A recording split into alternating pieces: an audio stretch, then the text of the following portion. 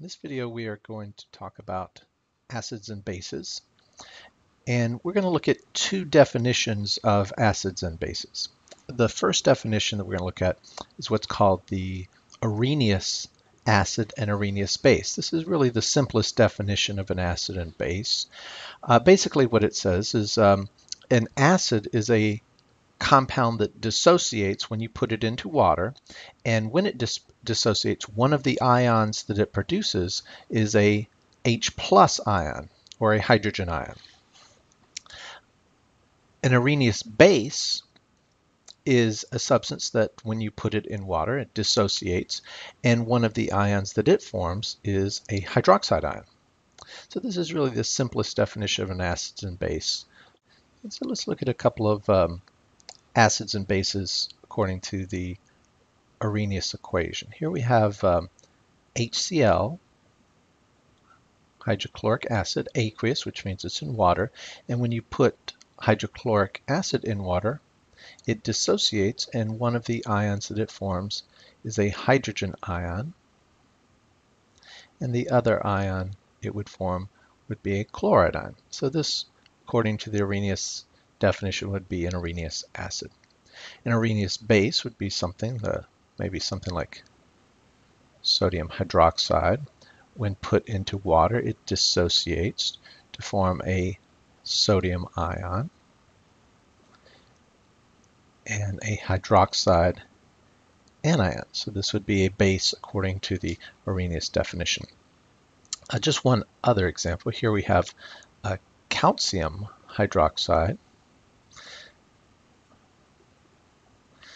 When calcium hydroxide is put into water, it will dissociate, forming a calcium ion and two hydroxide ions. So again, this would be a definition of an Arrhenius base. The second definition of an acid and base, and this is the definition that we're going to use throughout this chapter, is what's called a Bronsted-Lowry acid and a Bronsted-Lowry base. Um, a Bronsted-Lowry acid is a substance that when put into water uh, donates or transfers a proton or an H plus ion uh, to another substance. A Bronsted-Lowry base is a substance uh, that accepts an, a hydrogen ion from another molecule. So Let's look at this hypothetical example. Let's say we have an acid, HA, plus some base, B. The, according to the Bronsted-Lowry definition, this, if this is an acid, it will donate a proton to the base, and the Bronsted-Lowry base will accept a proton. So these uh, must occur in pairs. In order to have a Bronsted-Lowry acid, you must have a Bronsted-Lowry base.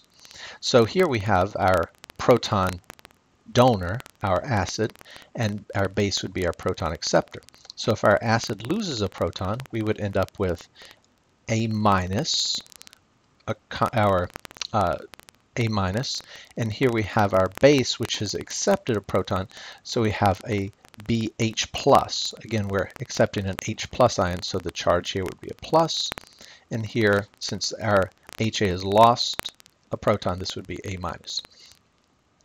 So our Bronsted-Lowry acid and base must occur in pairs. And uh, one other set of definitions, when a Bronsted-Lowry acid loses a proton, it forms what is called a conjugate base. And when the uh, Bronsted-Lowry base accepts a proton, it forms what is called a conjugate acid.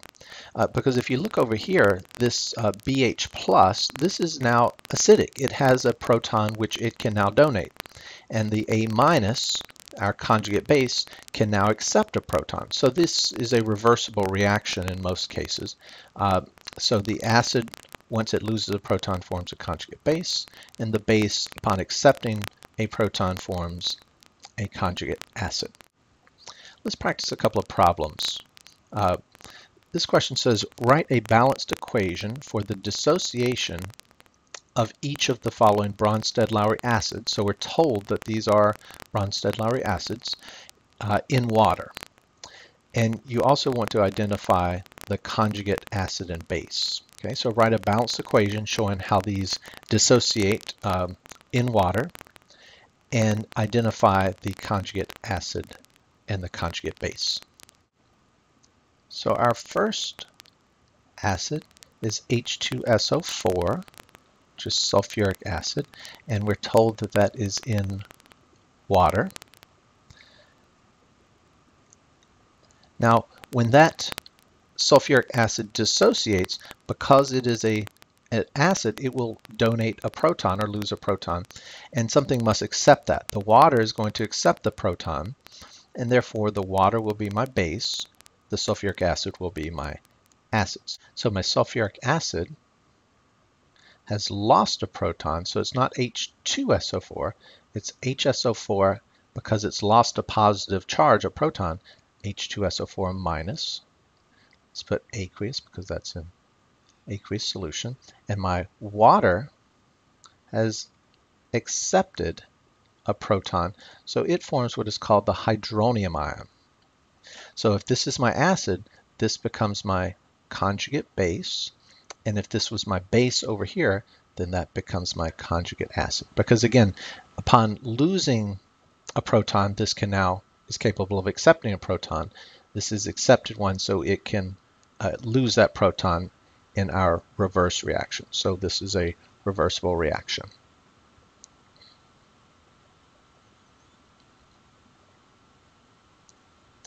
And the second part says, um, what if HSO4 minus is my acid? Well, when put into water, again, HSO4, that still has a proton that's capable of uh, donating, so this would be acidic. Uh, sulfuric acid just, this is what's called a diprotic acid because it is capable of donating two protons. Here's the first step. In the second step, it still has one more proton that it can donate. So this will be my acid. Water will act as my base. So we would form SO4 2 minus upon dissociation, it's aqueous, and again form the hydronium ion. Okay. So my sulfate ion, that would be my conjugate base. Hydronium would act as my conjugate acid. And the third acid we are asked to write an equation for is the hydronium ion. Aqueous. When the hydronium ion is put into water, which is a liquid, it has an extra proton which it can donate to water. So my hydronium ion will donate that to water. The water, upon gaining a proton, forms hydronium ion and my hydronium ion, upon losing a proton, reforms water. So here we would have uh, the hydronium ion here would act as my uh, my acid. So the water would be my conjugate base. Here the water accepted a proton, so that's the base. Hydronium ion, therefore, would be my conjugate acid. And the final acid that we're asked to look at is NH4 plus, the ammonium ion. We're asked to write an equation for the ammonium ion when it is put into water. Ammonium ion that has an extra proton which it can donate, so that will uh, act as my acid. When it loses a proton, it will form a neutral ammonia, aqueous, and the water will accept that proton, forming our hydronium ion. This is a reversible reaction. so the ammonium ion lost a proton, so that's my acid. Ammonia can accept a proton, that's my conjugate base. Water accepted the proton, so that's my base. And on this side, since uh, hydronium ion can donate a proton back to ammonia, that would be my conjugate acid. Now, as you see with um,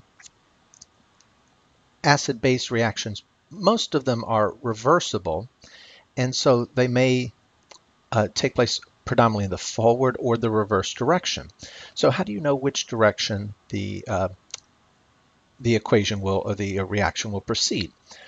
Uh, in general, the reaction will proceed from the stronger acid, stronger base side towards the weaker acid and the weaker base side. So a stronger acid has a, a more, a greater tendency to dissociate than a weaker acid. So if HA is a stronger acid than the hydronium ion, then the reaction will proceed, in this example, from left to right predominantly if hydronium ion is a stronger acid than whatever HA is, then the net direction of the reaction would be from right to left. So in general, uh, reactions, acid-base reactions proceed from this uh, in the direction from the stronger acid, stronger base side towards a weaker acid, weaker base side. And we'll uh, discuss how to determine uh, what is the stronger acid and what's the strong, uh, weaker acid and stronger base and weaker base uh, a little bit later.